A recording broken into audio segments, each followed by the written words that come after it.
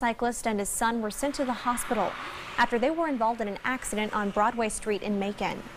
The Bibb County Sheriff's Office tells us 57-year-old Willie Hollingsworth Sr. was riding his bike in the northbound lane when 58-year-old Jeremy Binkley crossed the roadway while making a left turn.